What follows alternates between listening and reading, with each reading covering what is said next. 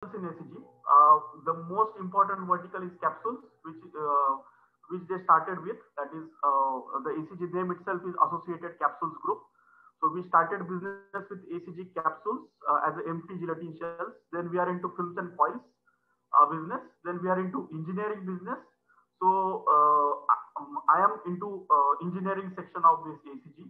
Then we are into inspection section. So with over 15 years experience, we are catering to the pharma industry and we are the world's only integrated pharma manufacturing solution company who provides in and out solution to the uh, pharma sector. So this is an extremely important slide, uh, whether it's students or whether it's uh, at students at B Pharma level or master's level or PhD level. Uh, this is in and out for your uh, uh, pharma. So if you will see, just just get a pointer, take a pointer. Okay. So is the pointer visible? Yes, sir. Okay. So uh, uh, this is the fluid bed machine. That is the granulation machine. So granulation, uh, uh fluid bed granulation or FBE is being used for granulation purpose and drying purpose, and it is used for pellet coating purpose.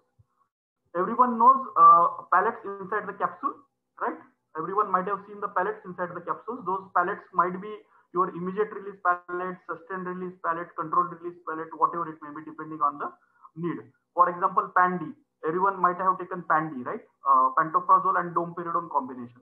So it is a controlled release uh, pellet coating formulation inside the capsule.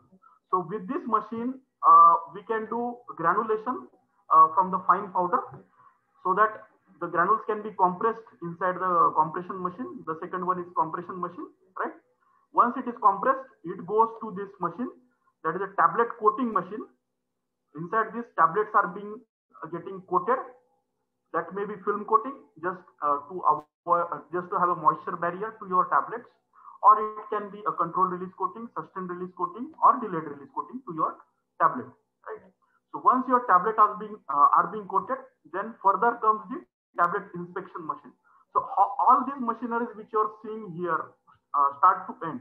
All these machineries are being manufactured and provided and catered to all the pharmaceutical sectors across the globe uh, by ACG. So once it is being uh, tablet coated, it goes to tablet inspection machine. So wherein uh, the tablet with defects, maybe uh, some tablets are not getting properly coated or maybe some are having some uh, blisters or something. So those are getting generally removed with the tablet inspection machine. Once it is uh, once it goes from the tablet inspection machine, then it goes for the packaging, that is with the films and foils. So that can be your uh, blister packing machine or strip packing machine, aluminum foil or uh, some other PVC foil, right? Once your uh, packing is being done on this blister packing machine, then it goes to cartoning machine. What do you mean by cartoning? Cartoning is nothing but the box, okay? So inside which your uh, tablet strip or uh, your foil goes inside the packet. So this is the cartoning machine.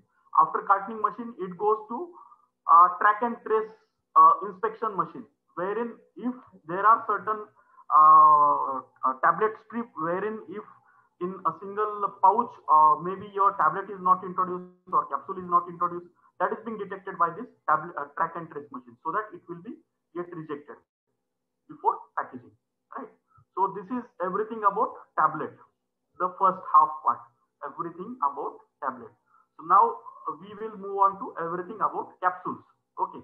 And after this presentation, a short presentation about ACG, we are going to deal with these two machines. The first one, this one, that is granulation, and this one is pellet coating machine. Okay.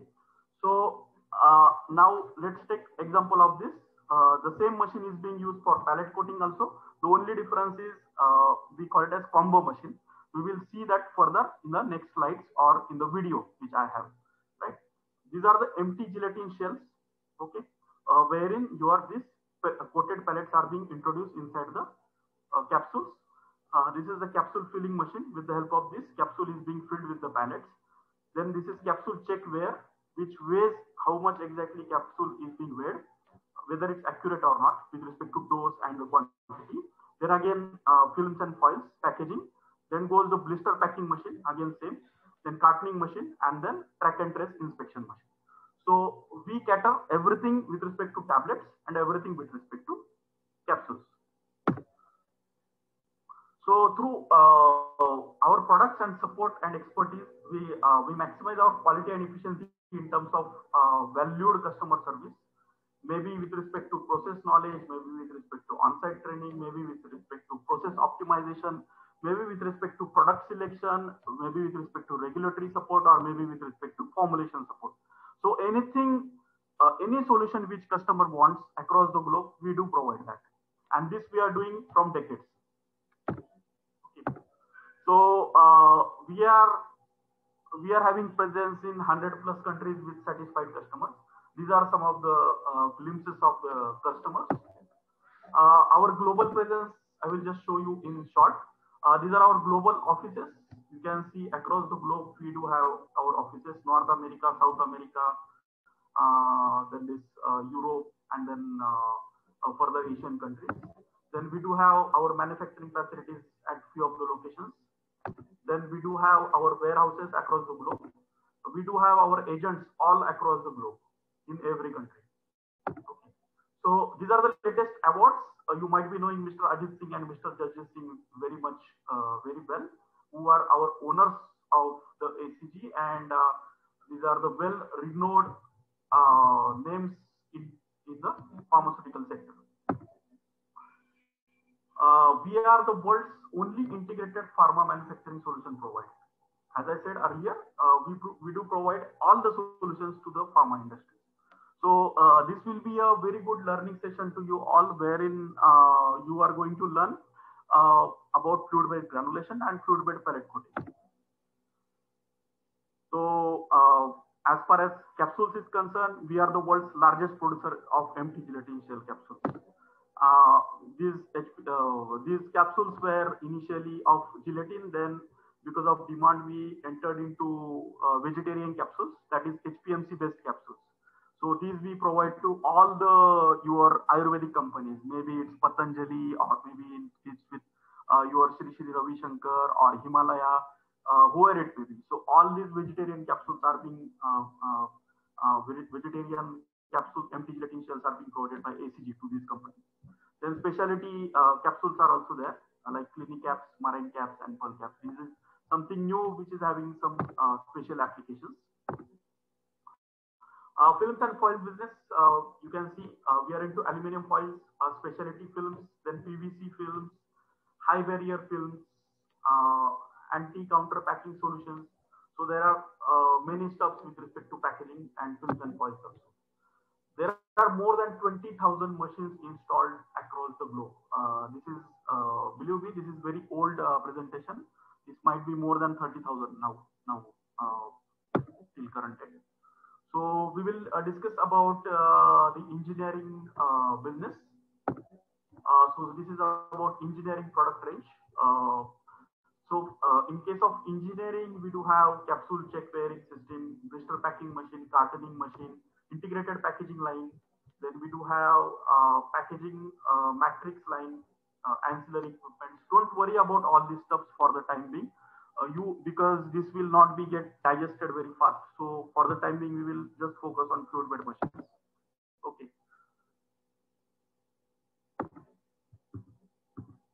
So then uh, we do have uh, certain product range with respect to inspection systems uh, track and trace and inspection, which is the most important thing. Once you are done with everything, uh, whether your final formulation which you have uh, packaged is uh, good enough with respect to everything is not is being inspected by this ACG inspection machine that is track and trace. Uh, we have several compliances and certifications. Uh, these are different certification compliances. I will not go into the details of that. Then we uh, we are having a partnership uh, with several pharmaceutical associations, uh, like you are uh, seeing in the uh, picture or the slide. That is with AAPS, CRS. AAPS is nothing but American Association of Pharmaceutical Scientists. CRS is the most important uh, organization, I would say, a control release society. IDMA. There are several ISP.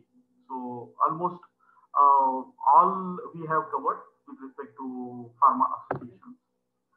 Yes, that's why ACG and absolutely committed group. So now uh, we will move on to the topic of interest for today, that is uh, basics of uh, fluid bed processing uh, with respect to top spray granulation and bottom spray pellet coating, right? So first we will uh, move on to uh, top spray granulation. So top spray granulation uh, of granulation which is being done in fluid bed granulation. So as such, we will first shortly we'll see what exactly is granulation and what are the types of granulation before moving on to the fluid bed granulation. Okay. So uh, the, the outline for the presentation will be introduction, uh, operating principle for the fluid bed, uh, basic considerations for the fluid bed, cleaning, uh, critical process parameters, and interactions Uh, considerations uh, for some of the aspects in uh, for some of the critical aspects in the fluid bed granulation or fluid bed pellet coating, and then I will be summarizing the presentation. So now, uh, what exactly is your this thing granulation? Granulation is a process wherein your one or more powder particles are combined together to form granules with the help of some binder or moisture, right? So uh, this is how your fine powder is being getting converted into granular form. So now why you need this granulation, right? Uh, this is the limitation of your uh, uh virtual training. If I would have been uh, in the one-to-one -one communication, then I always like to go with interaction. But unfortunately, right now, because of uh, limitation and because of disturbances, we cannot ask the questions and make it more interactive. I always like interactive sessions, whether it's seminar or something. But let it be. Uh, we'll go with the presentation.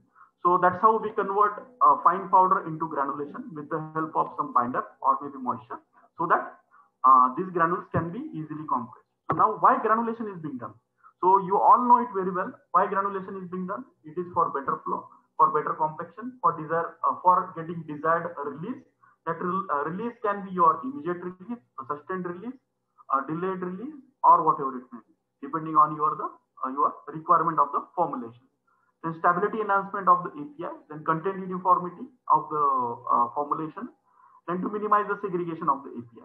So granulation, the first and the foremost important thing is to get the better flow and compaction. Because if you will see this uh, powder, fine powder, if you introduce this into your uh, from the hopper of the compression machine uh, to your punches and dies, it will not get compressed, right? If you will try to compress it, it uh, it will it will form chipping or or form an improper tablet, right? So there should be some void spaces in between these powder particles, and it should be in a granular form, so that it will have a better flow and a better compaction, right? So the key quality attributes for the granules are nothing but your, your LOD. LOD is what? Loss on drying or moisture content. So this is the most important thing for any uh, drying. I would say for any granulation, as a thumb rule, uh, generally the moisture content uh, of the dried granules should not be below, should not be about two percent. Okay, if it is about two percent, generally it may result in some uh, chipping or some other issues with respect to tablets. So moisture content should be below 2% in most of the cases. Then next is your content uniformity. Next is your bulk density, uh, particle size distribution. PSD is nothing but particle size distribution and angle of repose. So these are some of the flow properties uh, uh, uh principles as well as some other aspects which are important for the granulation and tableting purpose. So these are granulation techniques uh, different granulation techniques. As I said earlier, we will first see what are the different granulation techniques and then we will go on to fluid bed granulation. So if you see here, uh, depending on the process considerations, uh, granulation techniques are being classified into wet granulation, dry granulation, melt granulation, and these are some of the uh, recent developments.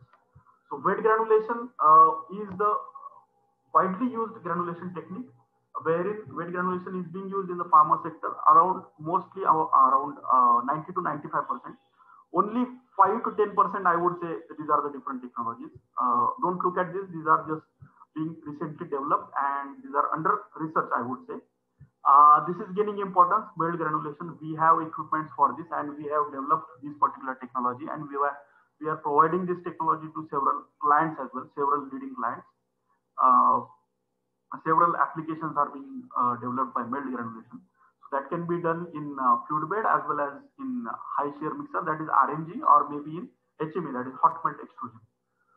Dry granulation, you know it very well. Dry granulation uh, is nothing but wherein there is no involvement of the moisture and it is being manufactured with the help of roller compaction in most of the cases. So two roller will roll uh, like this in uh, opposite direction and it will form a slug and that, that slug will be further size reduced and then it will form certain granules that can be compressed without any moisture. But there are only 5 to 10 percent of the uh, APIs or molecules that can be uh, performed with the help of dry granulation. So the topic of interest for today is wet granulation. Uh, in wet granulation, again, uh, how generally wet granulation is being classified. That is the most important thing, uh, which everyone should know. Uh, as I said, wet granulation uh, counterparts around 90% of the pharma solid oral granulation processes. So how one should go for wet granulation process? So wet granulation process is generally classified eh, based on your shear force which is being applied. What do you mean by shear force? Shear is the amount of force which is being applied during your granulation onto your powder particle. So if your shear force is low, that is on the lower side, it is called as low shear method. Whenever it is on the medium side, it is called as medium shear method. And whenever it is on the higher side, it is called as high shear method. So low shear method is nothing but your fluid bed granulation method. Uh, medium shear is nothing but your uh, methods like planetary mixers, which in old days was being used for uh, granulation purpose. But nowadays, planetary mixers are not being used for granulation purpose. Planetary mixers are being mostly used for semi-solid ointments, uh, waxes, creams, and all. And then high shear. So that's why it is called as high shear mixer granulator, HSMG. Or uh, if you are getting confused, then you can uh, nomenclature of the term as RMG, that is rapid mixer granulator. Why rapid? Why RMG we call it as? Because uh, the rapid itself indicate the high shear force. Okay, so that's why rapid mixer granulator. So the topic of interest for today is your low shear granulation method that is called as fluid bed granulation. Okay. So as I said, shear is the amount of mechanical force which is being implied by the granulator now, which mode of granulation will, will you choose? As I said, low shear is your fluid bed. Okay. Medium shear is your planetary mixer. Nowadays, this is not being used for granulation. This is used in semi-solids mostly. And high shear, that is nothing but your RMG or high shear mixer granulator. So now, how what is the selection criteria for uh, your solid oral dosage forms? Okay. Again, uh, as I said, this is not interactive. So uh, I have to ask the questions and I will have to answer the queries. But let it be. Uh, by this way, you will be uh, will be focused to what is going on exactly. So while selecting the uh, method for the granulation, depending on the shear force, uh, our target should be clear. That is how much hardness of the tablet which you want, right? How much particle size which you want, how much how much uh, how much content uniformity you want right? How how uh, what is the uh, desired target profile release? Is it controlled release sustained release or maybe immediate release? Do you want preciseness in the content uniformity? So likewise. So for example uh, you might be you are you all are from pharma background right? So you might be knowing potent apis what do you mean by potent apis potent api is nothing but uh, their doses are very very less in the tablet. And there are there are two concepts. One is high dose drug and one is low dose drug. High dose drug example is your uh, paracetamol and ibuprofen. So let's take an example of 500 milligram uh, paracetamol tablet, crocin tablet. So in 500 milligram uh, uh, uh, crocin tablet, there is 500 milligram of paracetamol and there will be some few excipients about 50 gram or so. So this is the example of high dose drug and then comes the low dose drug wherein you have your dose is very small. For example, salbutamol sulfate, which is anti-asthmatic API, anti-asthmatic drug. The dose is as low as 5 milligram to 10 milligram. So in, in a tablet of let's say 100 milligram or 200 milligram, your tablet dose is very small, that is 5 milligram. So that's how we differentiate between high dose drug and low dose drug. So whenever you want an precise control onto your uh, formulation, people uh, precise control or precise content uniformity onto your formulation, people generally go for your low shear method of granulation, that is fluid bed granulation. Uh, uh, believe me, uh, this is the most important method wherein there is a controlled granule growth of your uh, formulation with respect to your APIs and your excipients, right? So this is the most preferred method wherein uh, there is a controlled granulation in low shear method, that is fluid bed granulation. And then whenever you want an high throughput, right? For example, let's say metformin. Metformin, you know, anti-diabetic drug uh, metformin uh, is having uh, a dose as high as like a thousand mg. There are thousand mg tablets also. It is this big, around thousand mg tablet. Okay, so thousand mg tablet for thousand mg tablet, this particular equipment or this particular machine will not be suitable. So generally, whenever you have high throughput uh, of your uh, formulation, people go for high shear mix. For example, Granules India in Hyderabad, who is the largest producer of your uh, this high dose drug APIs, that is uh, uh, paracetamol, ibuprofen, metformin, uh, naproxen, and all. So these all these high throughput APIs, they are the largest producer in in the world. Granules India, they do all these high dose APIs by high shear method. But whenever you want something which is very much controlled uh, granulation or preciseness in your formulation, uh, with respect to at uh, micro quantities level, then people generally prefer your fluid bed granulation. And whenever you want a desired uh, profile release, and whenever your the limitation of plus and minus to your drugs is very less, the percentage compliance is very less, people generally prefer low shear method. And the most important thing, uh, as I said, uh, the methods are being classified into depending on your shear force so in high shear method, the tablet hardness which you get is on the higher side. Whereas in low shear method, you get generally porous granules and low hard uh, tablet hardness in case of fluid bed granulation. So whenever you are subjecting these tablets uh, for tablet coating in a, inside the drum tablet coater, uh, unfortunately the topic for uh, today is only fluid bed granulation. But whenever I will get a time in future, definitely I would like to explain tablet coater as well. So whenever your tablets are being uh, compressed and whenever it is subjected to the tablet coater inside the drum, it rotates like this, right?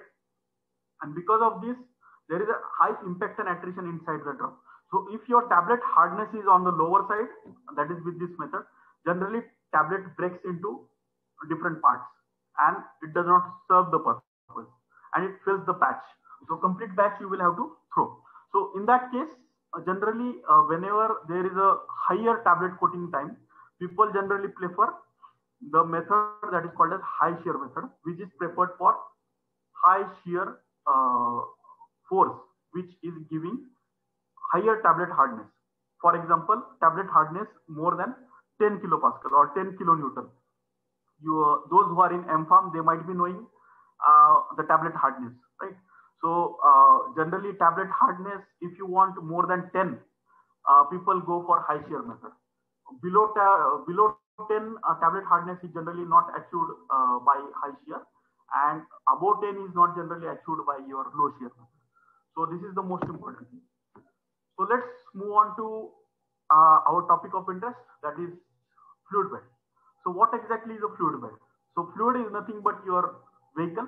Okay something, uh, some liquid in terms of air, which is being forced from the downside like this.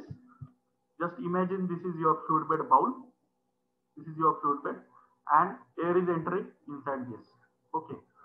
So once your air or gas is being ent uh, entered through your perforated plate, whenever it is entering inside the fluid bed, there is always a perforated plate which guides the air so that there will be some different uh, airflow patterns inside the uh, fluid bed container wherein your powder to be granulated is being uh, placed. So drag force always equals to gravitational force. You always know this, right? You you, you know this very well, right? If you throw certain object to top side, it will fall back automatically to the ground because of the gravitational force. So that's why it is being said that drag force, that is the force which is coming from the downside, whenever it gets reduced, it always equals to the granulation force. And there is always an interstitial spaces in between the particles. So there is always some fluid or air inside these particles. So that's why because of some certain quantity of the air, material gets fluidized inside the fluid bed container. So this is how your fluid bed uh, looks like at different airflow. Uh, uh, this is at without airflow. You can see uh, this is the container wherein your material is being placed for the granulation. It is without any fluidization. Okay. Once you introduce the air at minimum fluidization velocity, uh, this is the fluidization velocity which is generally required in case of fluid bed, uh, which we call it as bubbling fluidization, not very high and not very low. If it is very high, what happens? It goes to your uh, filter bags and sticks the uh, stuck to the filter bag. So this incipient fluidization, incipient fluidization is being preferred in case of fluid bed granulation, which we call it as minimum fluidization velocity. Those who want to do their career, please wrote it down. It is called as U mu MF, that is uh, minimum fluidization velocity. I will just uh, write it here. If I can, yeah. It is mu M F mu MF. So this mu is nothing but, uh, uh, madam, is it visible? Whatever I'm writing. Yes, sir, it is visible. Okay. So uh, this mu is nothing but your uh, minimum fluidization velocity. Okay. And then uh, it corresponds to your what I would say uh, the fluidization velocity which is required for your which is required for your uh, fluidizing the particles. Okay. So let's move on to the next slide. As I said, uh, bubbling fluidization, which is the, is the most important thing in the fluidization. Uh, then there can be slugging made. Uh, if you will increase the airflow unnecessarily, the material will go and stick to the your uh, filter bags. Uh, this is a spouted bed technology, which is being uh, most commonly used nowadays. not exactly in the pharma, but it is being used for coating of certain higher size, what I would say pellets or maybe some coffee beans. so coffee is the best example. So coffee, uh, coffee beans you might have seen. So those are being dried and coated by this spouted bed technology. So this I will not go into something which is too much theoretical because this will be boring to you. Uh, we will definitely see uh, a very good video which will give you a complete glimpse of what exactly is the top spray granulation and what exactly is the bottom spray granulation. Okay, so basically uh, before going into that, we will first try and understand what exactly are the different particles and how they behave in fluid uh, fluid bed granulation or fluid bed drying, right? So uh, believe me, a fluid bed uh, technology, that is fluid bed equipment, FBE, the only limitation with fluid bed is your imagination. So that's what uh, Mr. Werner Glatt, who uh, invented this particular technology, and all the experts says that the only limitation with fluid bed technology is your imagination.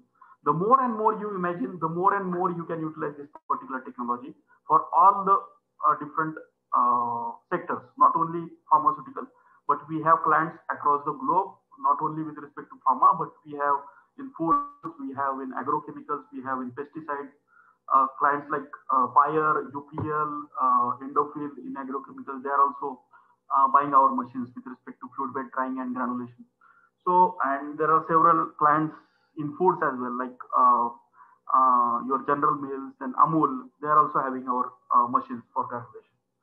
So uh, basically Geldart's powder classification is the most important thing. You can get this anywhere in your on internet. So basically according to Geldart, uh, there are four particles A, B, C and D. So A are nothing but aeratable particles. For example, milk powder. These are these particles are uh, in between 30 to 100 microns, right?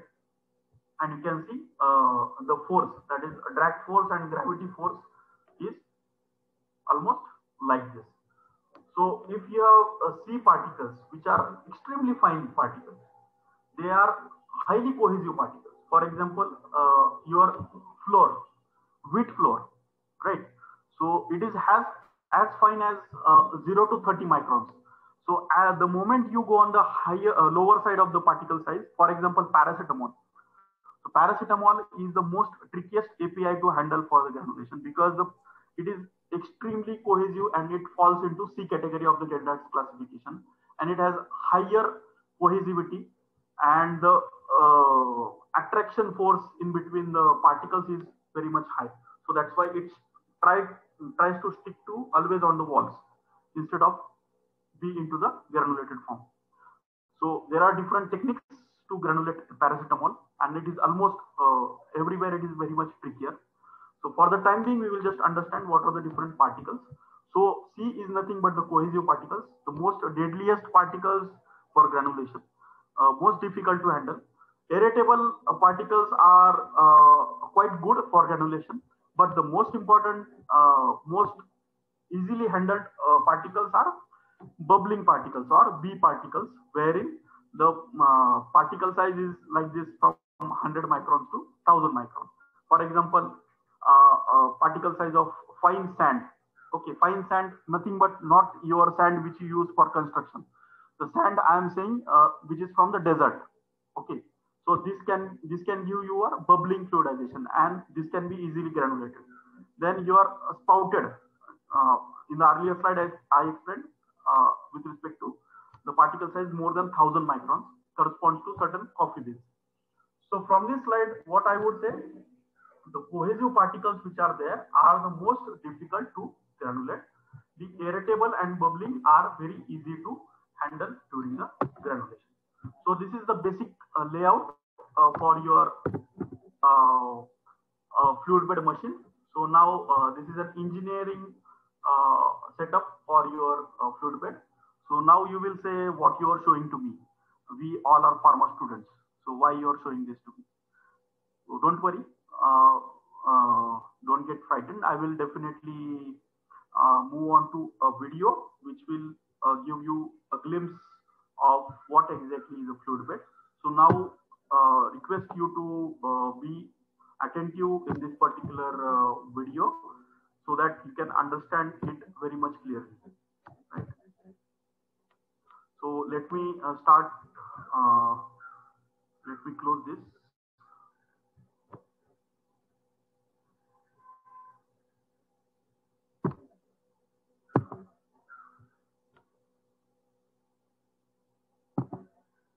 Okay, so I will first show you the video for top spray granulation.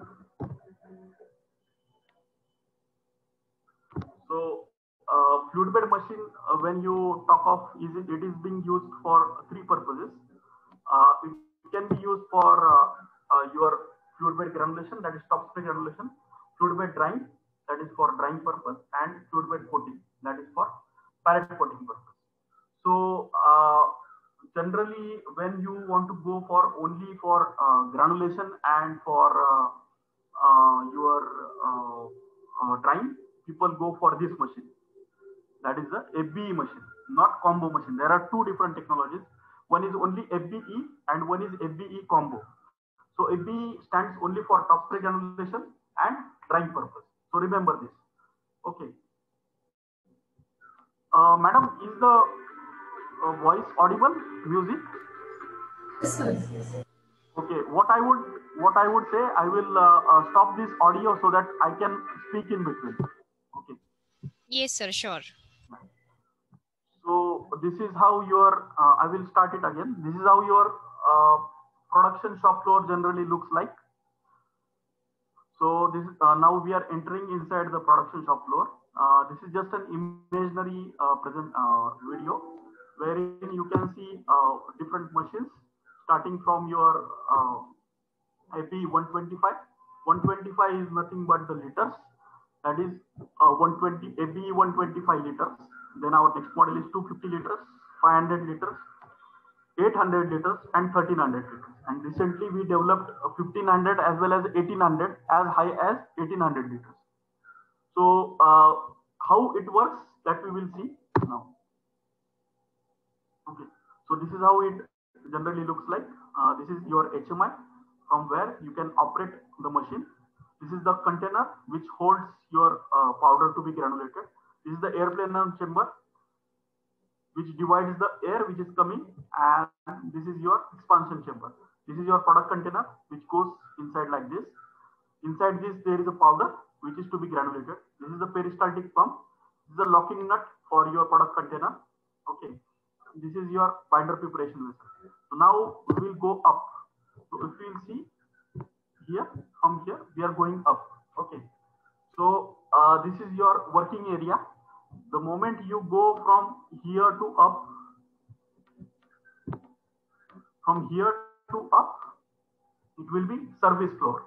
So service floor is the most important part of your uh, of your equipment. So all of us know how to drive a vehicle. Suppose if in case uh, you purchase a vehicle uh, or you purchase a car or you purchase a uh, motorbike, right? So you know how to drive a vehicle, okay, but you don't know how to maintain your vehicle. So in that case, we generally go to uh, garage and we uh, generally do the maintenance or we generally do uh, further repairs, right? Depending on the suggestions or uh, the advisor who is giving the advice for our car or bike, we are doing the repairs or maintenance. So likewise, for every machine, there will be certain uh, different requirements with respect to uh, this engineering division, right? So now we will see what exactly is your engineering division. So when you go up, so uh, this is your inlet AHU. What do you mean by AHU? AHU is nothing but air handling unit, uh, which handles the air which is being taken from the atmosphere. So now uh, just tell me, uh, whatever atmospheric air you will introduce it directly to your uh, uh, powder to be granulated in fluid bed? No, right? Because it will be contaminated with a lot of uh, different contaminants from the air, atmospheric contaminants, so on and so forth. So first of all, we will have to get rid of all those particles or all those contaminations. There should be proper filtration. Uh, there should be proper uh, uh, uh, there should be proper humidity, air humidity, airflow, and everything, right? So to maintain all those things, to introduce air which is required at required temperature or at required humidity, we require inlet AHU. So this is your inlet AHU.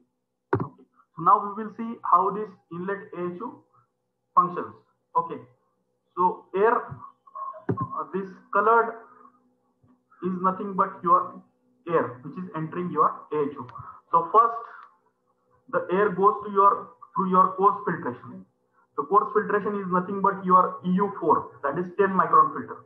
Okay, the efficiency of the filter is 90%. Then it goes to your, then it goes to your uh, uh, dehumidification chamber. Okay, so this dehumidification chamber is uh, uh, for removing the humidity from the atmosphere.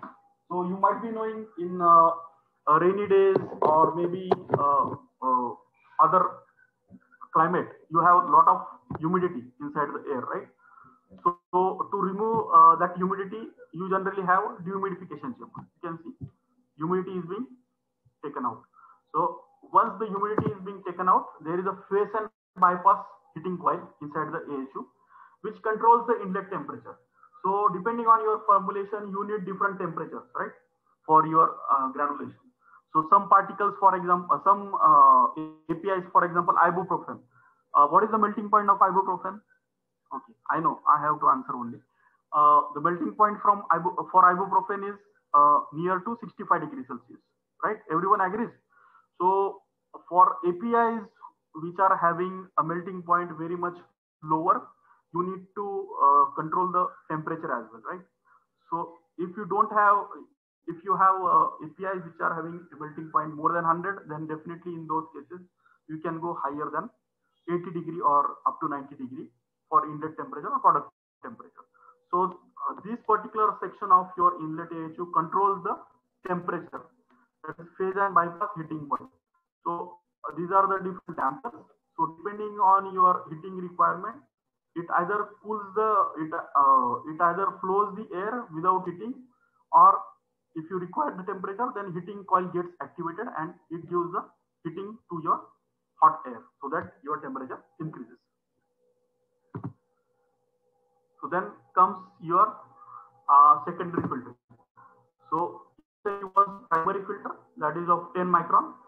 Once your humidification and face and bypass heating is being done, then comes the EU7 filter. Uh, these terminologies are very important. EU4. Here it was EU4. EU4 is nothing but 10 micron filter. EU7 is nothing but 5 micron filter, which, have, which is having efficiency of 95%. This is having efficiency of 90%. And then afterwards, it goes to your what? The last and the most important thing that is HEPA filter. Everyone knows uh, what is HEPA. HEPA is nothing but your high efficiency particulate air filter, which, in, which is having efficiency of 0.3 micron, as high as 99.97%. So once all this is being done, once it passes through the HEPA as the last filter, 0.3 micron filter, then that completely filtered air can go to your through this inlet duct can go to your actual production machine like this inside your container. This is the air plenum chamber which divides the air and through air distributor plate this fluidization starts. The material is being placed over here. Uh, this is your binder preparation tank in which binder is being prepared. This is your what? This is your peristaltic pump which pumps the binder through this spray nozzle. This is a top spray. Uh, the uh, technology we call it as top spray granulation, right? So this is your spray, which is the heart of the machine, as well as the air distribution plate is the heart of the machine.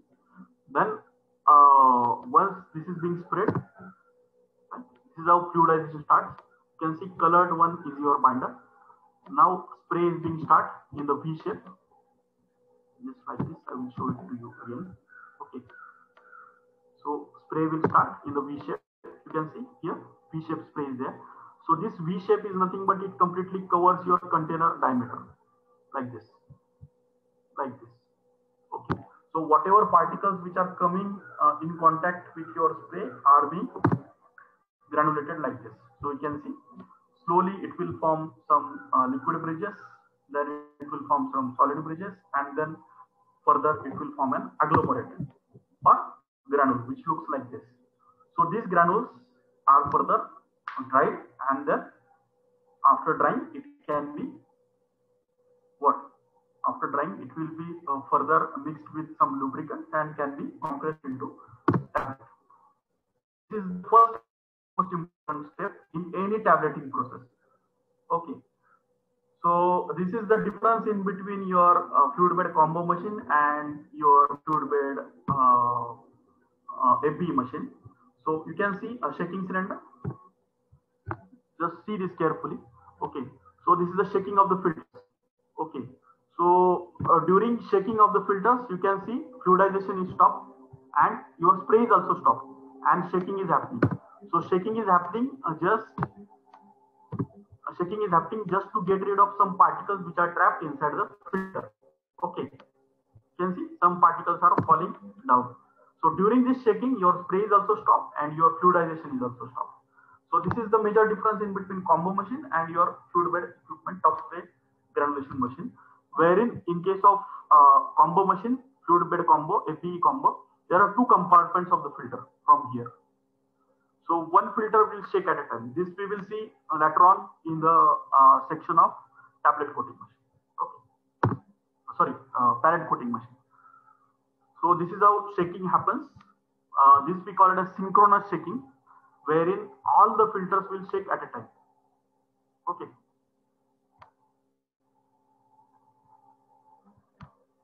So these are the uh, granules which we can uh, see offline. So uh, during the process, if you want to check your granulation, uh, whether it is satisfactory or not, you can take a sampling. Okay. This is a sampling port wherein you can see the samples. You can check it offline, uh, whether it's uh, properly done or not. if it is not properly done, then you can immediately change your process parameters from here. So there are several process parameters which we will see some in some upcoming slides, uh, which are important for granulation, like your inlet temperature, product temperature, atomization air. Uh, one thing uh, I would like to just tell you, uh, this atomization air pressure is the most important thing. Uh, the moment you increase the atomization air pressure, there will be some fine droplets. And the moment you have fine droplets, there will be some fine granules. A very simple example I will give you. You go to the uh, uh, barber shop, right? Uh, for uh, cutting your hairs. So they do have that uh, uh, atomization air manual unit, right? They spray water onto your hairs. The moment they do some more atomization, there will be more finer droplets, right? Extremely same like that only. So whenever you increase the atomization air, there will be finer droplets, finer droplets of your binder, which are being uh, which are being coated onto your uh, powder particles, and then it will further form granules. The moment your atomization uh, air pressure is on the higher side, the granules will be on the finer side. The moment your atomization air pressure will be on the lower side, okay, then your droplet size will be bigger. The moment your droplet size is little bit bigger, the granule size will be more. So it depends on ultimately your final requirement of your formulation. In certain cases, you may require a granule size of uh, 400 to 800 microns. In some cases, you may require 300 to 500 microns. In some cases, it may require 1000 microns uh, for the uh, compression. For example, there are certain uh, sachet formulations. You might be knowing uh, certain sachet formulations, for example, powders for reconstitution. Uh, everyone is having children at their home, right? So children are having antibiotics in powder formulation, powders for reconstitution. Everyone knows, right? So what we do, we add uh, that water inside the uh, that particular bottle and then shake it and then give it to the uh, our children. Right?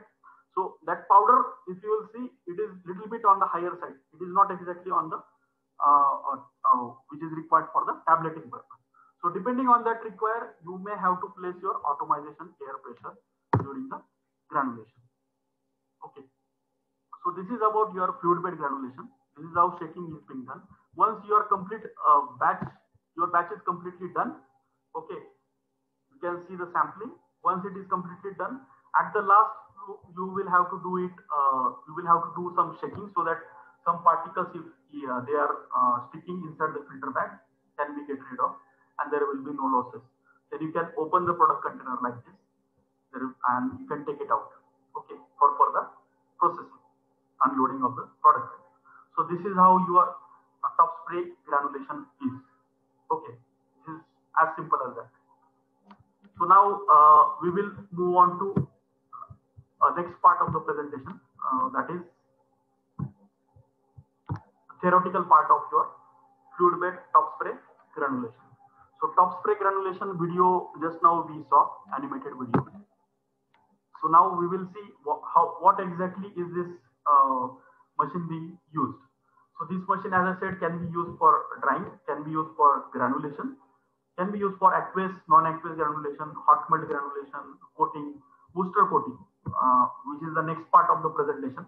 Wurster is nothing but the name of the scientist, uh, which we call it as bottom spray process. So by Wurster coating, uh, it is being used for taste masking, enteric release, uh, modified release, uh, with some temperature sensitivity, then controlled release, sustained release, barrier coating, etc. And one recent technology which is being introduced and which is being developed by ACG which is a replacement to bottom spray coating technology because this particular technology is very much on the longer side. This gives a better results, bottom spray coating technology, but uh, it requires high processing time. So in replacement to that, in the same machine, we have developed tangential powder layering. I do have a video for that as well. So definitely I will show it to you during the presentation. Okay. So this is how your uh, fluid bed technologies are being used. Uh, top spray is, can be used for granulation, taste masking, enteric coating for hot melt. Wurster process can be used for these many processes. Okay. Uh, as I said, tangential powder layering. And this is having application in several uh, parts of the principles and technologies, right from granulation taste masking, enteric coating, hot melt, extended release, film coating, dry powder layering, and pelletization. So product retention filter, as I said, uh, in fluid bed FBE machine, uh, the video which we just saw, you can see uh, there are only one set of filters. So like this. Okay. So whole filter assembly shakes at a time continuously. So this is in top spray machine, wherein your spray also stops and your fluidization also stops. Whereas in case of a fluid bed combo machine, this is being divided into two compartments like this. So one filter shakes at a time and there will be pressure which is maintained inside the uh, bowl and fluidization will not stop as well as spray will also not stop. This we will see in the video, the next counterpart that is bottom spray pellet coating machine. So for the time being, what I would say, uh, the filters which are being used for fine powders are anti-static filters, 5 micron filters, because uh, you are granulating fine powders, right? So if your filters are not able to uh, trap your fine powders, okay, if this filter is not able to trap your fine powder, uh, then what it will do, the powder will go to the atmosphere, right? And then it may cause further health hazards to the atmosphere, maybe uh, to your uh, living animals, birds, or living non-living things. So whatever you are doing inside your production house, all the particles should be retained or at least it should be cleaned up by your exhaust CO2, which you will see in the next uh, video. Okay, of bottom spray pellet coating. So in case of top spray granul uh, granulation, uh, this is how it is being the setup and bottom spray, this is how it is being the setup. So bottom, in case of bottom spray pellet coating, generally you don't uh, take fine powder as a starting material. We take sugar spheres or MCC spheres as a starting material. So your uh, filter size is generally like a, uh, we call it as a bonnet filter. It is uh, in the range of 100 microns, 200 microns to 300 microns for bottom spray pellet coating.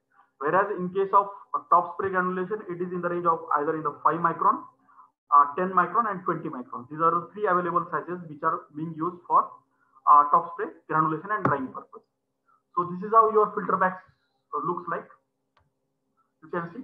Uh, Sir, uh, sorry to disturb you. Uh, can you repeat the size uh, of the filters uh, for, Sure. retention, for retention? Sure, sure. Uh, so this is the filter bag which is being used for top spray granulation. Uh, you can see complete one set, no dividation of the filter bag.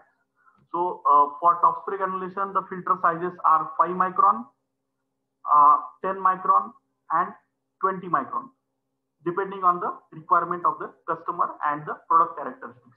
Because of there are uh, because there are certain fine products as well uh, to be granulated. For example, uh, you have uh, certain APIs which are in microfine powders. Okay. For example, celecoxib. Celecoxib is an extremely fine API. So in those cases, you have to have to go with uh, 5 micron. And if it is more finer than that, the lowest size which is available with us for uh, fluid bed top spray granulation and drying is 3 micron. Okay. But below 3 micron, it is not possible for filter bags. Okay. So for top spray granulation, uh, then uh, uh, 10 micron, and then uh, 15 micron. So these are the three available sizes. And for bottom spray pellet coating, uh, uh, the available sizes are uh, 100 micron. First is 100 micron, second is 200 micron, and third is 300 micron. Okay, is that clear, madam? Yes, sir. Very clear. Thank you very much. Yeah. So uh, this is how generally your uh, spray looks like. Whenever you spray a binder from the top side,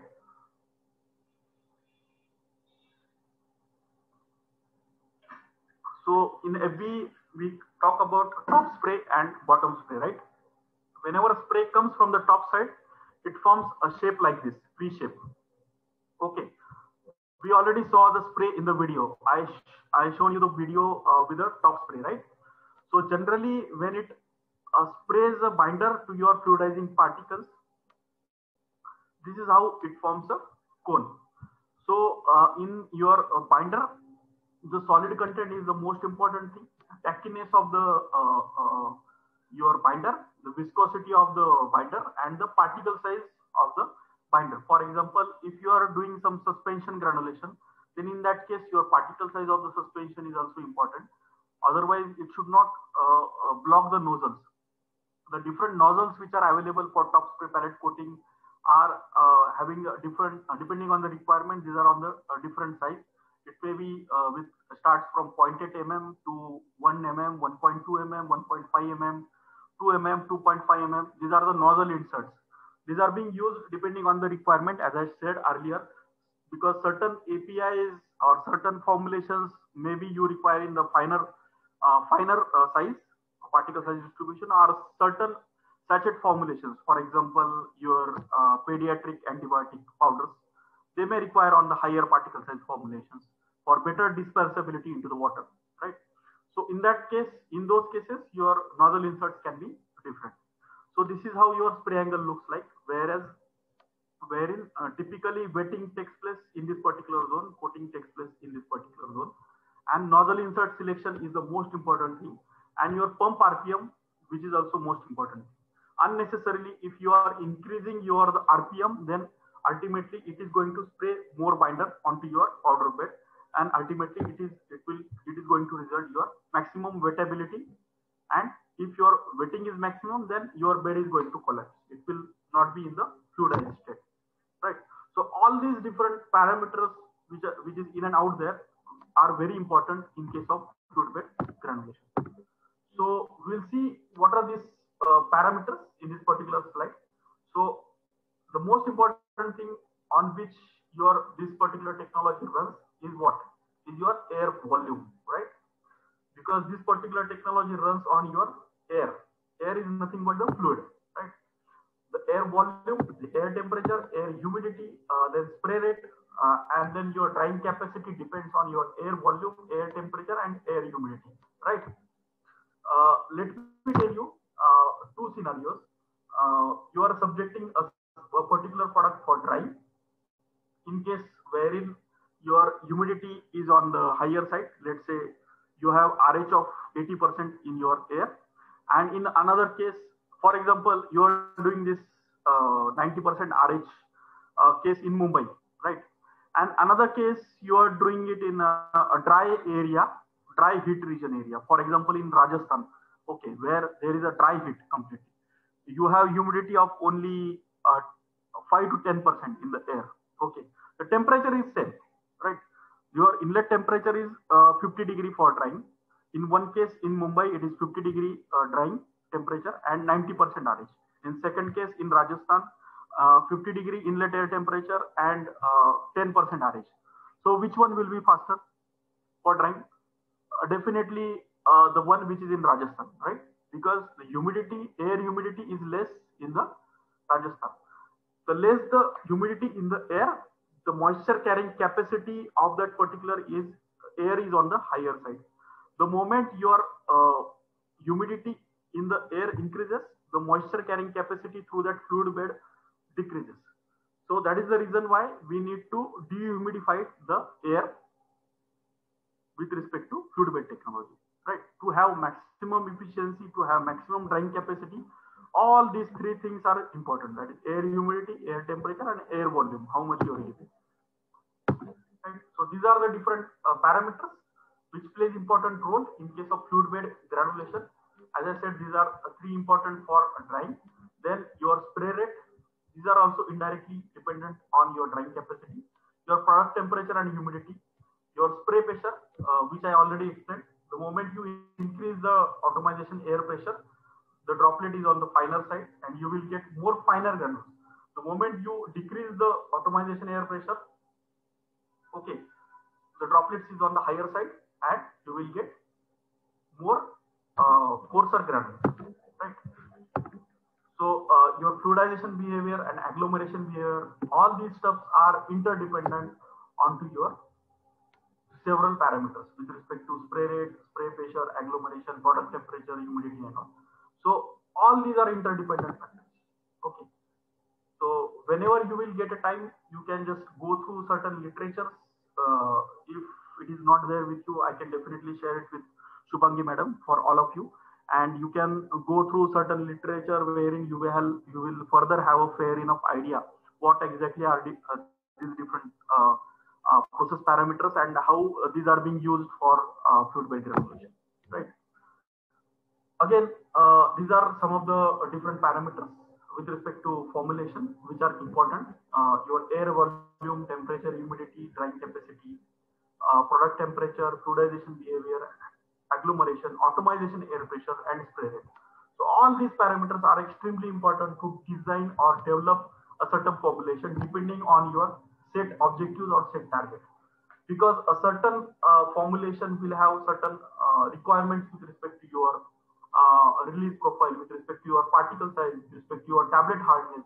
So all these uh, uh, things are being taken care during the uh, uh, your formulation development and process development.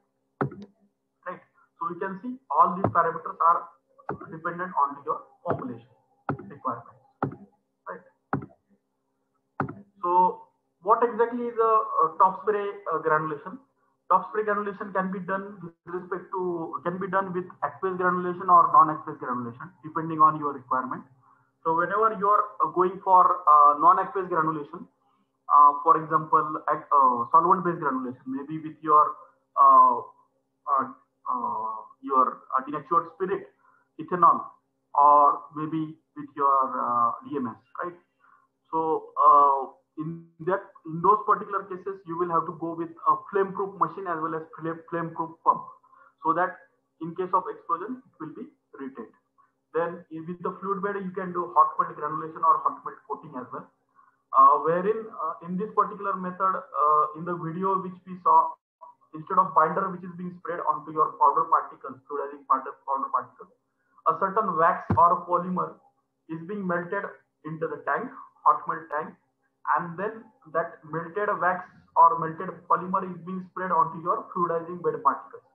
And that directly forms an your uh, typical formulation which is being desired for immediate release or sustained effervescent granulation uh, we are the market leader in the development of effervescent granulation all the technologies which you see in the market uh, maybe your eno or maybe some uh, discipline tablets and all most of these technologies are being uh, uh, helped by us to all the clients uh, with respect to effervescent granulation. And we have a very good hand on effervescent granulation. Then encapsulation instantization as i already said with respect to pediatric formulation. This is the example of instantization where a powder can be introduced into the water and then can be used for uh, doses of pediatric uh, formulations or maybe sachets is a good example of uh, instantization. Then spray agglomeration. Uh, this is being used for certain uh, non-pharma applications wherein you have food applications like Amul, your pesticide applications. We have clients like Bayer, Indofil, UPL and all. So wherein we use spray agglomeration kind of technology with respect to fluid bed. This is being used for uh, drying as well. So these are the applications of fluid bed. It can be used in API industries. It can be used for formulation development, for food products. Uh, you might be knowing HiMedia. High media, you know, uh, you might have used uh, the media cultures uh, in laboratories. So uh, the media which come for the HiMedia, which you use for, which we use in petri plates for growing microorganisms so that powder is being granulated on our machines actually. So uh, just a few years back, uh, uh they were having uh, dispersibility issues, HiMedia cultures. Uh, they are having huge facility in Nasik and their R&D and corporate center is in Mumbai. HiMedia is a monopoly market in case of media cultures. You might be knowing those who are from uh, microbiology backgrounds or maybe uh, taking practicals or something with respect to some growing microorganisms growing of microorganisms from petri plates, you might be knowing HiMedia cultures. So these HiMedia cultures, granulation is being developed on ACG machine and they are being granulating on large scale uh, for HiMedia cultures. So there are, uh, as I said in the start, there is uh, the only limitation is your imagination with respect to fluid bed technology. So these are different applications. You can say dietary supplements, then nutraceuticals, chemicals, pesticides, and herbal products there are several herbal or Ayurvedic companies are having our fluid bed. Uh, your Hajmola tablets are being manufactured on ACG machines. Then a lot of Patanjali products, then Himalaya products. So many uh, are being uh, granulated and compacted on ACG machines. So uh, this is how your uh, controlled agglomeration with respect to uh, RMG, uh, sorry, with respect to fluid bed occurs. You can see RMG, you know, uh, rapid mixer granulator. In the start, I told that this is a high shear method. Okay. Uh, once you granulate it with the binder, uh, after granulation, you have to subject it to fluid bed drying. After drying, again, you will have to subject it to dry milling. After dry milling, again, you will have to subject it to the sieving and then blending, and then it goes to the compression. Okay, tablet compression. But in case of fluid bed granulation, as this is a controlled agglomeration method, this is an extremely precise method wherein your uh, spraying time is on the higher side, but because of control onto your uh, spray droplets, your uh, granule size or particle size distribution, uh, which is desired at the final stage, is at the more controlled stage with respect to this particular technology. That's why we call it as controlled agglomeration method. Okay, so that's why with this technology, if you are uh, if you are going ahead for the granulation, all these steps can be avoided for the manufacturing. So this is how your granulation generally takes place. Uh, this is a powder bed. Uh, after spraying, uh, it generally forms liquid bridges, then further solid bridges, and then further forms the snowball structure or maybe an agglomerate. This we already saw in the video. These are the typical stages uh, in the top spray granulation. Uh, first is preheating of the material. Generally, whenever you load a material inside the uh, container, uh, the product is preheated uh, along with machine at the desired temperature. After preheating, it automatically in auto cycle uh, gets started for the spraying, that is top spray granulation, which we saw in the video. Once your desired binder which is there in top spray granulation. Generally in top spray granulation, the binder concentration or moisture uptake is from 30% uh, to 55% uh, around for granulation. So if it is, uh, your binder concentration is on the higher side, that is more than 50%, generally the drying time required is on the higher side. If your binder concentration is on the lower side, drying can be faster. If your solvent which is used uh, in the granulation is uh, uh, if your vehicle which is used in the granulation is solvent then drying can be faster if it is aqueous granulation naturally you know uh, nowadays all are using sanitizers so there is no need to tell. Uh, when we uh, spray or use our sanitizer onto our hands this is nothing but solvent. 70% your ipa or 70% alcohol right? So it gets rid of within seconds from your hands. But if you will keep water onto your hands, it will not get rid of unless and until you will wipe it off with some cloth or maybe with uh, a stream of air, it will not get wiped off, right? So the same principle. If you are using solvent for granulation here, uh, it will be faster to get rid of in the drying. So drying can be slow, uh, drying step can be faster. If you are having aqueous granulation, then drying can be prolonged. The drying step is little bit prolonged, right? So these are the typical stages uh, in the top spray granulation, preheating, granulation spraying and drying. Okay. So now in granulation and spring, as I said, there are several parameters which you need to play on depending on the target which is being given to you according to BMR.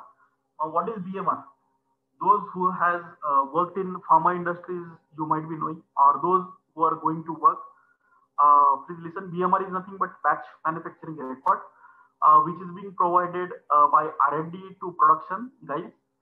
And in this BMR, BMR is nothing but Kundli of your formulation, right? For example, you have a formulation of, uh, uh, let's say Combiflam, okay, which is a combination of uh, paracetamol and ibuprofen. So wherein each and everything is being written in that particular BMR of Combiflam starting from your uh, weighing, that is dispensing of the material, till your what? Till your packaging. Everything will be there, slot. Okay. So, all those stages needs to be passed at each stages. After granulation, there will be tableting. After tableting, they will do dissolution, they will do disintegration, they will do uh, tablet hardness, so on and so forth.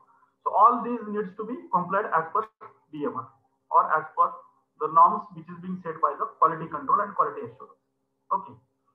So, uh, so all these parameters which are required as per the specs or specifications provided for that particular formulation that should be taken care of in the in this particular step at the most around 60 to 80 percent is being controlled in this middle stage that is granulation and spraying. And in some of the cases that is 20 to 30 percent it is being controlled at drying stage. As i said uh, in the initial slides your drying should not be faster that is airflow should not be high once your granules are formed in this particular phase granules are formed right these are the granules agglomerate. Okay granule structure. So unnecessary if you will give high airflow what will what will happen? There will be an impact and attrition in between the particles and these granules will be will collapse and will again form some fine particles. So that is not desired so you need to dry that particle but without breaking the you need you need to dry those granules but without breaking the granules right so without breaking the granules means there should be less impact and attrition during the drying so that's why the airflow which is being kept in the drying phase should be minimum fluidization velocity. It should not be high enough so that there will be higher impact and attrition and there will be loss of granules which are which you have formed in the granulation stage. Right. So uh, drying is also important to achieve your exact particle size distribution which is desired. So these are the different factors influencing granulation. Uh, there are different raw materials uh, uh, which are available like your starch, uh, lactose, DCP, that is dicalcium phosphate, uh, MCC, microcrystalline cellulose, different grades are available. Sometimes what happens uh, in production, we do purchase material, let's say, uh, if you have set the formulation with Dow DuPont material, and because of some certain issues, uh, because of failure to deliver by down point, you are switching to BASF raw material. So in those cases also you uh, you face a lot of issues with respect not only with respect to regulatory but uh, with respect to your uh, achieving the criteria uh, for BMR that is for hardness so on and so forth. So all these materials binders play an impact onto your formulation. So that's why uh, as far as possible always uh, people go with the same uh, supplier, uh, same raw material or same this and that excipients, right? So raw materials, binders that can be your aqueous, non-aqueous binder can be, you know it very well. It is PVPK30 that is polyvinyl pyrrolidone. It can be HPMC that is hydroxypropyl methyl cellulose, 5 CPS, 10 CPS, 15 CPS. CPS is the viscosity grade. Uh, and then the batch size uh, of the granulation in fluid bed, uh, let's take example of uh, 500, FB 500 liters. So your 500 liter means your gross volume. So inside your 500 liter, you can utilize 80% uh, of your batch size. So uh, for 500 liters, uh, you can go with 400 liter actual occupancy, right? So that is the batch size. The minimum which you can utilize in fluid bed granulation is around 20% to start with and maximum is 80% to that of the gross volume. These are the different machine parameters which we already saw. Air volume, air temperature, air humidity, product temperature, binder spray rate, atomization air pressure. These are the most important things in your top spray granulation. Okay. These are some of the uh, basic formulation considerations, uh, formulation aspects with respect to uh, dosage forms uh, in terms of capsules or tablets, composition of your formulation, how it is, unit dose weight, how much is your weight, uh, then the release requirement, uh, depending on your uh, release requirement, your polymer may vary. Uh, whether your uh, API is hydrophilic or hydrophobic, it depends a lot to vary your process parameters. Based on above parameters, the binder quantity, concentration, and media shall be finalized, right? That is the binder nature, binder quantity, binder concentration, and binder media. To note that highly soluble drugs are easy to uh, granulate. whereas uh, hydrophobic drugs are difficult to granulate. So we'll see this in next slide. So API dry mix, if you are hygroscopic, that is water loving API, they are easy to granulate with the aqueous granulation. And whenever you are hydrophobic API, it is uh, difficult to granulate and you require more uh, incorporation of your binder in the uh, top spray granulation. So this is how your uh, hydrophobic beads looks like and hydrophilic uh, beads looks like. So generally in top spray granulation for hygroscopic powders, around 30% uh, plus or minus 5% binder is required. So for example, uh, if you have 100 kg of your uh, uh, dry powder, okay, or dry API, around 30 kg binder is required. Okay, in case of hygroscopic material. In case of medium hygroscopic material, you require 40 kg to that of 100 100 kg powder. In case of hydrophobic material, you require 50 or around 55 uh, kg of binder to granulate the hydrophobic material. Okay, so these are the typical examples of um, some of the material. Hygroscopic materials, metformin, most uh, suitable example, ibuprofen, salbutamol sulfate, diclofenac sodium, propranolol, cetirizine, pseudoephedrine hydrochloride. These are hygroscopic APIs. Medium hydrophobic uh, APIs, paracetamol, uh, then uh, MCC, dry mix with lot of MCC, right? Which is a medium hydrophobic microcrystalline cellulose. Highly hydrophobic material, for example, calcium carbonate, aluminum hydroxide, ciprofloxacin, fluffy insoluble API. For example, I told you uh, celecoxib, right? Aluminum hydroxide. Where is this uh, second number? Aluminum hydroxide. Where is this used? Do you know? Aluminum hydroxide is being used in uh, your formulations of uh, Digene. You know Digene tablet. You know uh, tablets, right? Which is being used for uh, uh, acidity, right? Uh, we generally chew that and then it gives then your bioavailability and actions for bioavailability. So aluminum hydroxide is a highly hydrophobic material and it is uh, not getting granulated with uh, lower quantity of water. So we have developed a process for uh. Digene, which is a product of Abbott, and Abbott uh, Digene is being manufactured on ACG machine. So uh, the granulation process or granulation steps are very much higher, and they use aqueous as well as uh, solvent granulation for granulating this Digene product. Okay. So factors influencing granulation, uh, there are different factors. Uh, this we already uh, discussed. I will not go into details of this. Uh, factors influencing dry granulation, uh, sorry, factors influencing granulation are your dry mix particle size and bulk density.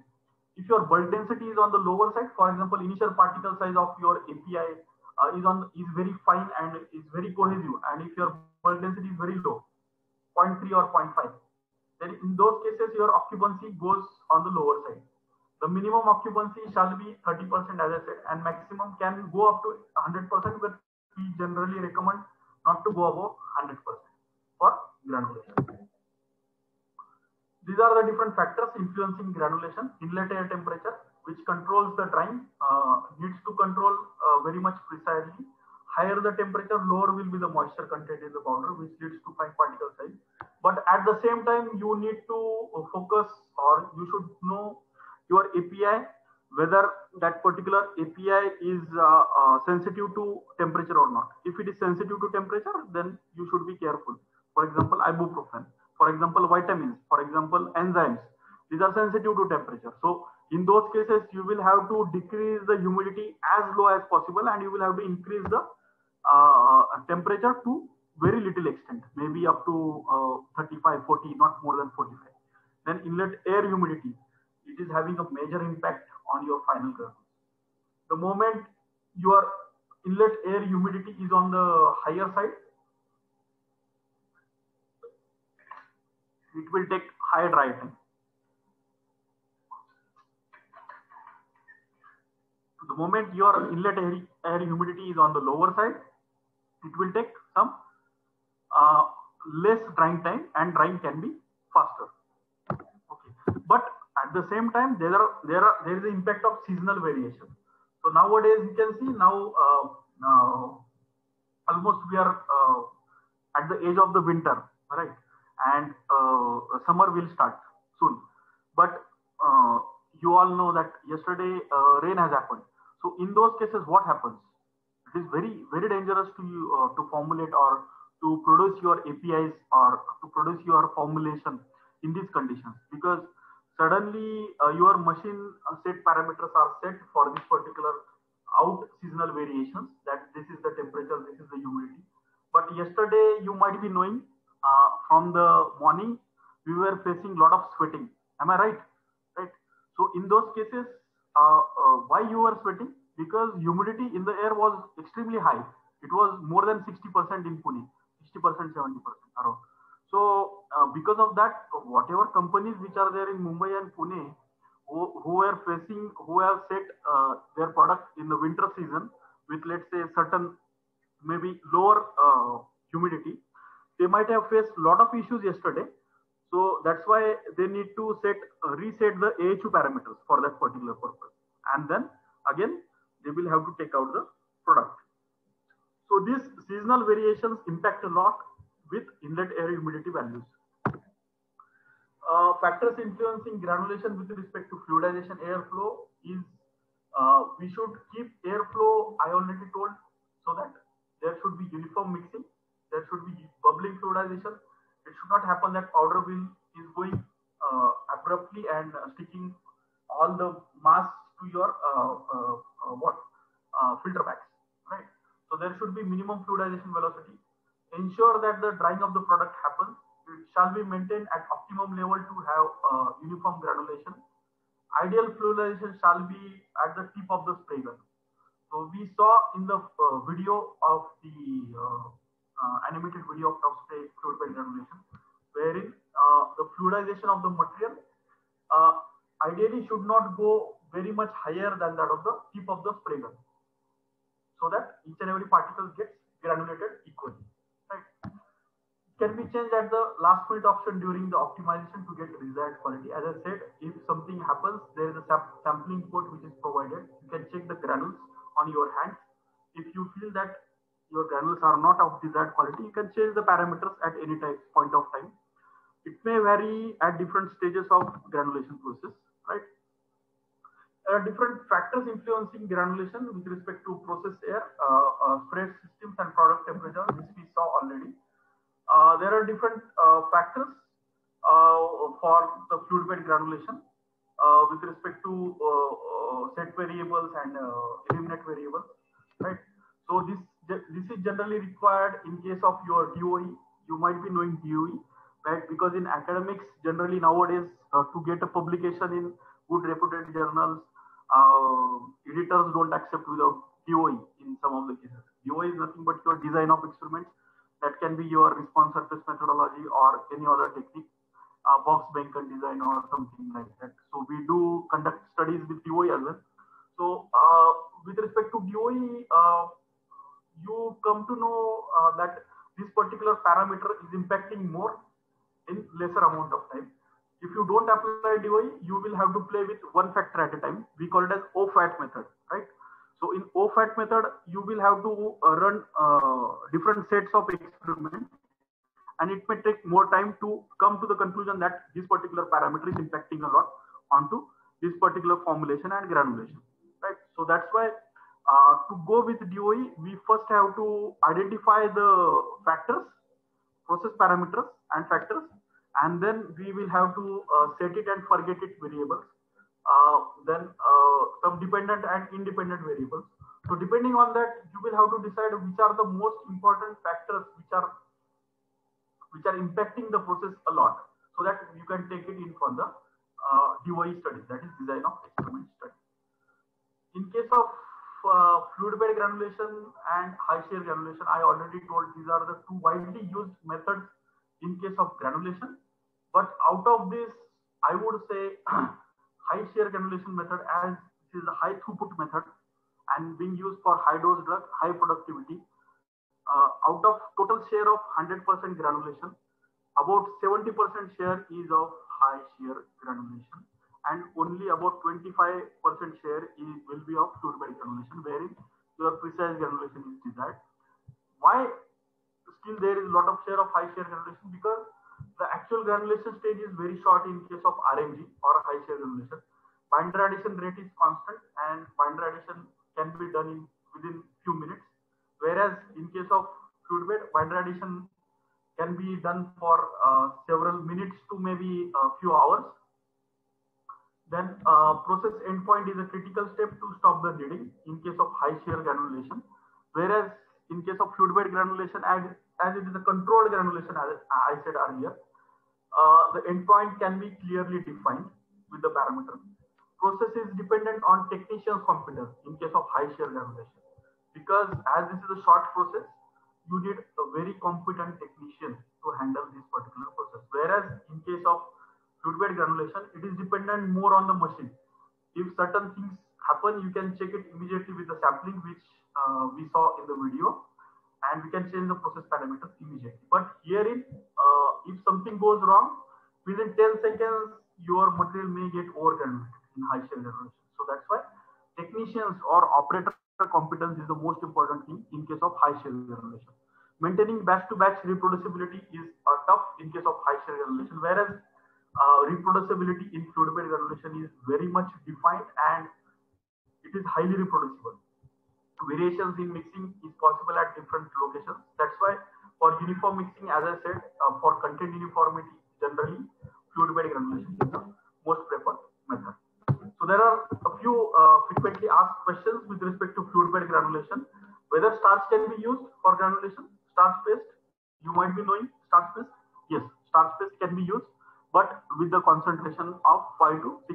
As above 6%, it, it will form uh, something, a very sticky mass, which can be, cannot be pumpable with the uh, spray pump or the peristaltic pump.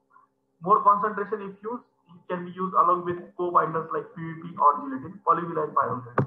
Right? Which binders are suitable? Uh, yes, co-binders along with starch uh, helps a lot. Any other binder that can help uh, will work. No binding with plain water except for some very hygroscopic powders. For example, in case of Digene, as I said again, uh, the example of Abbott, Digene formulation of Digene tablet, uh, wherein uh, there is uh, no specific binder, PVP or, or stars or something. Water is only binder. Why?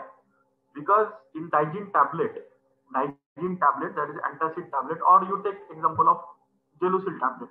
60% is your is your milled sugar, पिठी साखर पिठी साखर आपण ती त्याच्यामध्ये वापरतात पिठी साखर milled sugar is Bing used in your Digene formulation or Gelusil powder Gelusil tablets so that's why there is no other binder required uh, in water. Plain water itself is a binder because if you will spray some water onto sugar, you know it very well, it will immediately agglomerate. So that's why water itself can act as a uh, binder for this hygroscopic powders. Then internal binder may not help. What do you mean by internal binder? Now I will explain you what is internal binder. Uh, some people do add uh, some part of the binder in the dry mix, not add into the uh, solution preparation tank. And they do add powder directly into the powder, uh, dry mix powder, that is fluidizing powder. And uh, some will be in the uh, your binder addition tank, which is to be pumped with the spray. But that internal binder may not help because unless and until it goes to into that typical vehicle, it doesn't form that particular bonds which are required for binding capability of the powder to form a granulation. Okay. How segregation can be avoided? Yes, low airflow till wetting is uh, required to be achieved.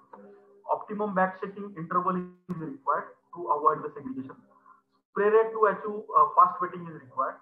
Low inlet and low product temperature is required to avoid the segregation. Now, at this particular stage, you may not be able to understand what am I speaking. Okay but definitely uh, whatever you are getting please uh, take it. Uh, definitely whenever you will go to once your education gets complete you will understand this in detail. Whenever you will go to a job in solid industries maybe in r&d or maybe in tech transfer or maybe in production whatever how to handle low actives? What do you mean by low actives? We already discussed this. For example salbutamol sulfate you can see the dose is as low as 2 milligram per tablet. Alprazolam. this is what? Uh, this is the API or drug which is used for uh, your uh, loss of what? Loss of alprazolam is used to uh, sorry uh, I'm not getting that to get rid of uh, sleep right and uh, some of the steroids which are having dose as less as uh, 1 milligram or less than that right so these are the highly potent APIs so how to handle these particular APIs right so these particular APIs are uh, being handled uh, with the help of geometric progression. Binders, it may lead to some loss. It might be risky. So there should not be dusting. Uh, there should be uh, preparation of independent solution uh, say before addition of the binder for this particular API. Right. Uh, dry mixing validation. Uh, dry mixing validation is the most important when you your your dry mix maybe with your lactose, starch, TCP, and MCC and certain APIs. Before adding the binder, your dry mixing should be uniform.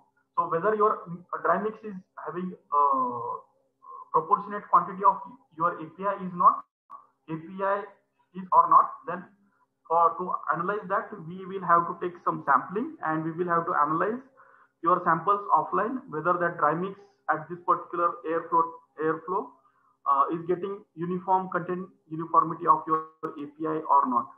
If that is within your limits, then you can go for your uh, uh, addition fee. Right. Uh, addition of colors, yes, that can be done uh, depending on your requirement, and uh, it, it, can be done in your in your dry mix as well as in your binder. Right. Uh, some of the granulation issues, this I will not suggest you to go into details right now because as and when you will handle the machine, then only you will understand these details. Will just uh, uh, give you a glimpse. Uh, it can be related to sudden lump formation during granulation, oversized granules that can be because of high spray rate or low fluidization, low bed temperature, improper setting of the nozzle, so on and so forth. Fine granules if you have high atomization air pressure, I have given you the example of barber. If you give a high atomization air pressure, there will be fine droplets, right? So high atomization air pressure will generate finer droplets and there will be fine granules. Okay. High bed temperature, if you will unnecessarily keep higher temperature, uh, inlet temperature, the bed temperature will be on the higher side. The moment your bed temperature is on the higher side, the particles uh, will be more fragile and it will uh, it will get distracted from each other and it will form fine powder. Non-uniform granules. Uh, for non-uniform granules, we need to identify what are the parameters which are impacting the uh, fluidization during the granulation. So these are the typical issues which generally uh, comes uh, during your uh, granulation. It can be DP filter high. Uh, there are two filters which are being placed, differential pressure to uh, detect the DP is nothing but your differential pressure, which is across the filter and across the product. So this detects your differential pressure across the product and across the bed. If this goes on the high higher side, then there might be some issues with respect to fluidization, high atomization air pressure, or low bed temperature. With DP product high, then it might be with respect to issue with respect to your low bed temperature, overweighting of the product, and mesh cleaning issue. Okay damaged filter bags. If your filter bag is damaged, then you will find some uh, powder going escaping out of your filter bag and it will be collected in your exhaust AHU. Right. Uh, then cross spray from the nozzles. If this happens, what what is being generally done is if your uh, spray is not coming in exactly in the V shape, what happens? There is some deposition at the tip of your nozzle, and because of that, your spray uh, angle V shape may be going like this or maybe going like this. So this should not happen. If this happens, if it is not like this, if it is going like this, then it may stick to your wall container. So that also we need to identify during the process. So this is how your uh, uh, granule looks granule looks like. It is having interstitial spaces for liquid penetration during the granulation. So for controlled granulation, there has to have to be a glimpse of all the parameters and to summarize a top spray granulation process, I would say top spray granulation process is extremely precise process and it is a controlled granulation method. It provides stricter control over particle size distribution. PSD is nothing but your particle size distribution and that is the reason why it is the most preferred method wherein you require stricter control on particle size distribution and wherein you don't want other process uh, steps like which I explained, maybe milling, uh, then sieving, and then mixing, blending, and all. In fluid bed, you can directly, uh, once you are done with granulation, you can directly blend it if required and with lubricant, and you can directly go for compression. Uh, it is suitable for many applications, as I said, in, in many sectors it is being utilized.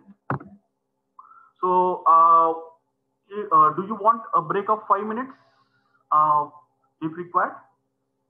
So that now we are done with top spray, we can uh, continue with bottom spray after five minutes. Madam.